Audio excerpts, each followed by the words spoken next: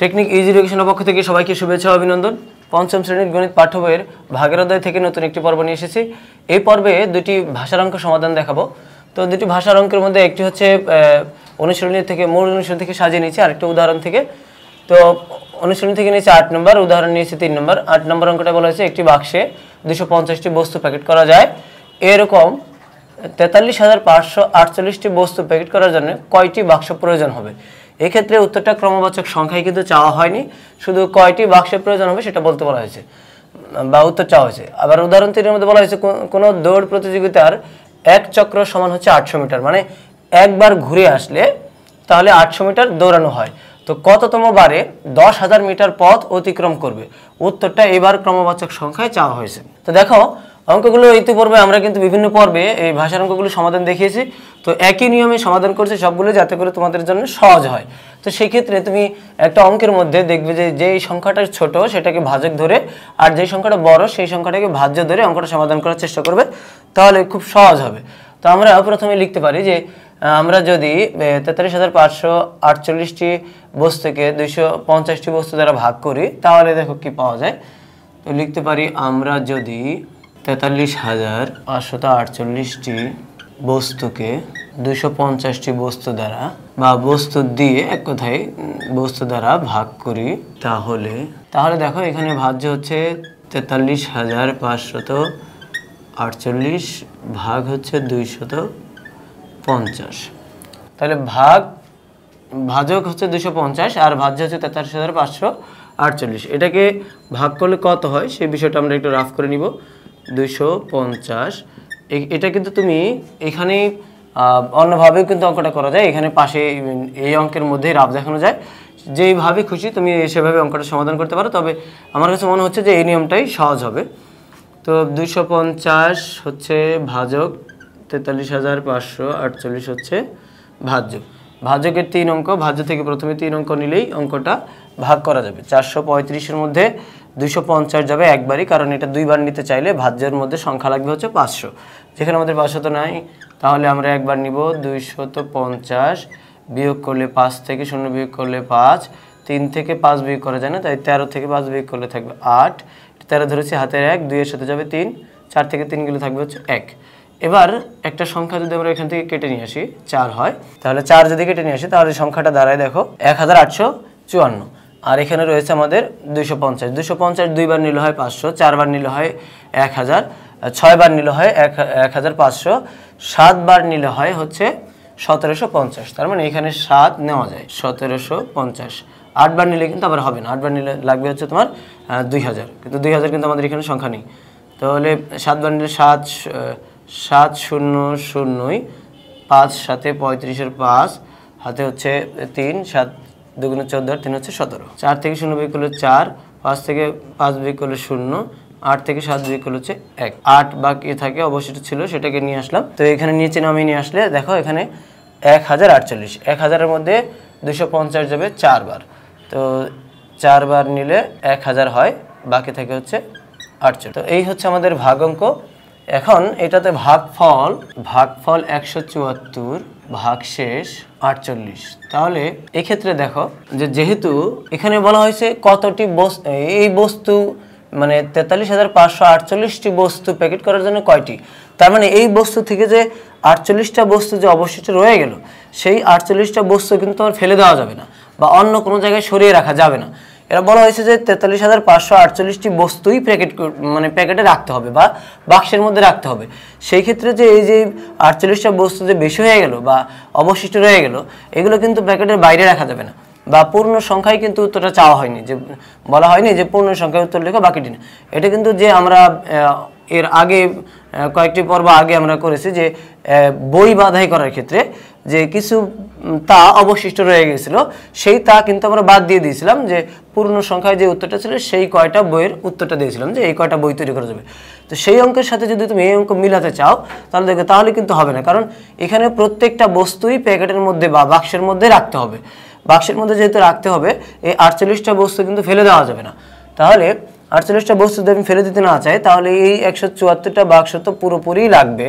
তারপরে এই আটচল্লিশটা রাখার জন্য আরও একটা বাক্স লাগবে।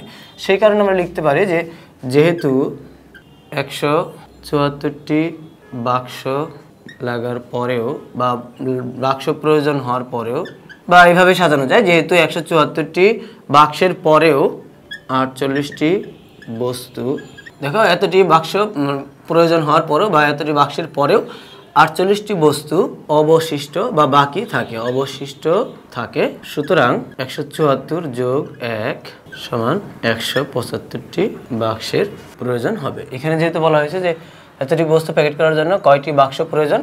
তাহলে একশো পঁচাত্তরটি বাক্সের প্রয়োজন হবে।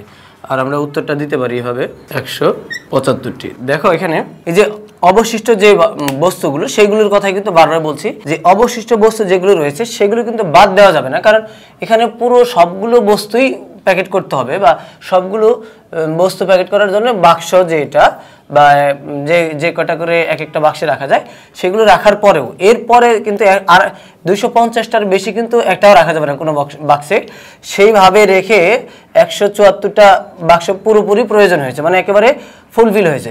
এরপরে একশো, দুইশো পঞ্চাশটা যেখানে রাখা যাবে, দুইশো পঞ্চাশটা বস্তু তোমার কাছে নেই, রয়েছে আটচল্লিশটাতে। এই আটচল্লিশটা কী করবে তুমি? তাহলে কি এটা ফেলে দেবে? ফেলে দিতে তো বলা হয়নি বা ভাগশেষ হিসেবে রেখে দিতে বলা হয়নি বা এভাবে বলা হয়নি যে উত্তরটা পূর্ণ সংখ্যায় লিখো, অবশিষ্ট অংশটুকু বাদ দেয় এটা কিন্তু বলা হয়নি। তাহলে এই সবগুলো বস্তুই আমার প্যাকেট করতে হবে, তাহলে বাক্স কত লাগবে? তো একশো দুইশো পঞ্চাশটা করে একশো চুয়াত্তরটা বাক্স লাগার পরেও আটচল্লিশটা বস্তু যেহেতু রয়ে যায়, সেই আটচল্লিশটার জায়গায় যদি আরও দুশো পঞ্চাশটা হয় দুশো পঞ্চাশ পর্যন্ত সবগুলো সংখ্যাই আরেকটা বাক্সের মধ্যে রাখা যাবে। তাহলে যেহেতু আটচল্লিশটা বস্তু আমাদের কাছে রয়ে গেছে, সেগুলো রাখার জন্য কিন্তু আমাদের আরেকটা বাক্স প্রয়োজন হবে। তো সেই কারণেই এখানে একশো চুয়াত্তর কিন্তু উত্তর দেওয়া যাবে না। উত্তর দিতে হবে একশো চুয়াত্তরের সাথে আরও একটা বাক্স লাগবে। তবে এই অবশিষ্টগুলো আমরা ওই বাক্সের মধ্যে রাখতে পারব। সেই কারণে একশো পঁচাত্তরটি বাক্সের প্রয়োজন হবে। ওর মোট কথা একশো পঁচাত্তরটি বাক্স হলে এই সবগুলো বস্তুই প্যাকেট করে নিয়ে যাওয়া যাবে বা প্যাকেট করা যাবে। তো এবার আসো, আমরা এই পরের অঙ্কটা সমাধান আসি। তো এবার দেখো, উদাহরণ তিন। উদাহরণ তিনে বলা হয়েছে, কোনো দৌড় প্রতিযোগিতার এক চক্র সমান আটশো মিটার, কততম বারে দশ হাজার মিটার পথ অতিক্রম করবে? উত্তরটা ক্রমবচর সংখ্যা নিতে বলা হয়েছে। তো আমরা অন্যান্য অঙ্কগুলো যেভাবে করেছি, ঠিক এটাও একইভাবে করব। তো এই ক্ষেত্রে দেখো যে আমরা যদি এই দশ হাজার মিটারকে আটশো মিটার দ্বারা ভাগ করি, তাহলে যে ভাগফলটা পাবো, তততম বারে দেখব যে কতটুকু পথ অতিক্রম করা যায়। এবং তার সাথে কিন্তু আরও একটা বার যদি ভাগশেষ থাকে, ভাগশেষ থাকলে বোঝা যাবে যে এটা আরও একবার চক্রটা ঘুরলে তবেই এই দশ হাজার মিটার পথ অতিক্রম করা হবে। যেহেতু পথ অতিক্রম করবে বলা হয়েছে দশ হাজার মিটার। তো আমরা লিখতে পারি শুরুতেই আমরা যদি দশ হাজার মিটারকে আটশো মিটার দিয়ে ভাগ করি তাহলে দশ হাজার হচ্ছে আমাদের ভাজ্য আর ভাজক হচ্ছে আটশো। এক্ষেত্রে আমরা ফলাফলটা কীভাবে পাই বা কত পাই সেটা আমরা একটু লিখে নিব এখানে রাফ করে। দেখো আটশো হচ্ছে ভাজক আর দশ হাজার হচ্ছে ভাজ্য। প্রথমে তিন অঙ্কের ভাজক তিন অঙ্ক দিয়ে নিলে একশো হয় মাত্র নেওয়া যাবে না চার অঙ্ক একবার নিতে হবে। এই এক হাজারের মধ্যে আটশো যাবে হচ্ছে একবার। আট, একশো, আটশো বা আটশো একে আটশো। এখানে বিয়োগ করলে শূন্য শূন্য, দুই। এখানে নিয়ে আসলে আমরা পাই হচ্ছে দুই হাজার। দুই হাজারের মধ্যে আট, আটশো যাবে দুইবার। আট দুগুণে ষোলো অর্থাৎ ষোলোশো আসবে এখানে। বাকি থাকবে হচ্ছে চারশো। তাহলে ভাগফল পেলাম হচ্ছে বারো, ভাগশেষ চারশো। এবার দেখো এই যে চারশো যদি বারো বার ঘোরা হয় মানে ওই চক্রটাতে, চক্রটা মনে করো এইভাবে দৌড় প্রতিযোগিতাতে দেওয়া হয়, এভাবে একটা যদি মাঠ থাকে, এখান থেকে যদি শুরু করা হয়, এভাবে একবার ঘুরে আসলে এই পুরোটা যদি ঘুরে আসা হয়, তাহলে মাত্র অতিক্রম করা হয় আটশো মিটার। এভাবে আটশো মিটার একবার ঘুরলে, দুইবার ঘুরলে ষোলোশো মিটার, তিনবার ঘুরলে তিন হাজার চব্বিশশো মিটার, এভাবে ঘুরতে থাকবে। তো এইভাবে যদি বারো বারো বার ঘোরা যায়, এটা চক্র যদি বারো বার ঘুরে আসে, তাহলে কিন্তু প্রায় দশ হাজারের মতো দশ হাজার মিটারের মতো পথ অতিক্রম করে দশ হাজার কিন্তু অতিক্রম করা হয় না বারোবার করলে। বারোবার যদি ঘোরা হয়, এটা বারোবার যদি ঘুরে আসে, চক্র দিয়ে আসে, তাহলে কিন্তু দশ হাজার হয় না। কত কম থাকে? চারশো মিটার বাকি থাকে। মানে চারশো মিটার এখনও বাকি রয়েছে দশ হাজার থেকে। দশ হাজার থেকে কম রয়েছে। বারোবার অতিক্রম করলেও বারোবার ঘুরে আসলেও দশ হাজার মিটার অতিক্রম করা হয়নি। এখনও চারশো মিটার তার অতিক্রম করতে হবে। তবেই দশ হাজার হবে। কিন্তু দশ হাজার যেন অতিক্রম করতে পারে, এরকম একটা চক্র কত বারে গিয়ে হবে সেটা আমাদেরকে নির্ণয় করতে বলা হয়েছে। তাহলে আমরা লিখতে পারি, যেহেতু কততম বারে দশ হাজার মিটার পথ অতিক্রম করতে হবে, যেহেতু বারো বার ঘোরার পরেও, যেহেতু বারো বার ঘোরার পরেও চারশো মিটার পথ বাকি থাকবে। দেখো, উত্তরটা কিন্তু আমাদের ক্রমবাচক সংখ্যা চেয়েছে। তাহলে যেহেতু বারো তমবার যেহেতু ক্রম, ক্রমবাচক সংখ্যা চেয়েছে, তাই আমরা এখানে তমটা উল্লেখ করে দেব। যেহেতু বারোতম বার ঘোরার পরেও চারশো মিটার পথ বাকি থাকে, বা থাকবে, তো সুতরাং বারো যোগ এক সমান তেরোতম বারে তেরোতম বারে এক হাজার মিটার দুঃখিত, দশ হাজার মিটার পথ অতিক্রম করবে। তার মানে তেরোতম বার ঘোরার সময় বা তেরোতম বার ঘুরলে দশ হাজার মিটার পথ অতিক্রম করা যাবে। তো এটা আমরা আলাদা করে রাফ করে নিয়েছি এখানে। তো সেই রাফ থেকে আমরা জেনেছি যে আটশো মিটারের একটা করে চক্র দিলে বারো বারোতম বার ঘোরার পরেও আরও চারশো মিটার ঘুরতে হবে। সেই চারশো মিটার পূরণ করার জন্য আরও একবার তাকে চক্র দিতে হবে। তার মানে মোট তেরোতম বারে দশ হাজার মিটার পথ অতিক্রম করবে বা অতিক্রম করতে পারবে। তো যেহেতু উত্তরটা ক্রমবাচক সংখ্যায় চাওয়া হয়েছে, তাহলে আমরা উত্তর দিব তেরোতম বার বা তেরোতম। তো এই ছিল এই অঙ্কের সমাধান। তো দেখো, অনেকগুলো অঙ্ক কিন্তু আমরা ভাষার অঙ্ক এই একই নিয়মে সমাধান করেছি। আর এই নিয়মটাই সব থেকে ছোট এবং সহজ নিয়মে শুধু ভাগ করাটাই একটু সময় নেয় বেশি। আর তাছাড়া কিন্তু সবগুলো অঙ্কেরই মোটামুটি ভাষায় একই। তো যেগুলো উত্তরে ক্রমবাচক সংখ্যায় দিতে বলবে, সেগুলো একটু খেয়াল রাখতে হবে যে তম বা যেটার যে ভাষা, যেমন বারো যদি হতো বারোতম না বলে আমরা অনেক সময় দেখি যে দ্বাদশ বলে থাকে, আবার অনেক সময় ষোলো হলে ষোলোতম না বলে ষোড়শ বলে থাকে। এগুলো একটু খেয়াল রাখতে হবে। খেয়াল রেখে উত্তরটা শুধু বসালেই হবে। তো আশা করি এই পর্ব থেকে দুটো অঙ্কের সমাধান তুমি বুঝতে পেরেছ। তো পরবর্তী পর্ব দেখার আমন্ত্রণ জানিয়ে এই পর্বটি এখানে শেষ করছি। খুদা হাফেজ।